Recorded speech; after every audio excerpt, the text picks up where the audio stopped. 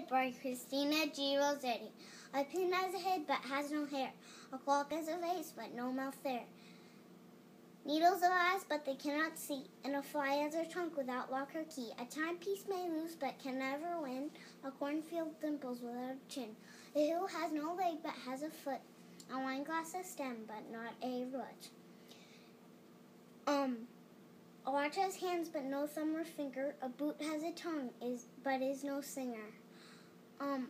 Rivers run though they have no feet. A saw has teeth but it does not eat. Ash trees have keys yet never lock, and baby crows without being a cock.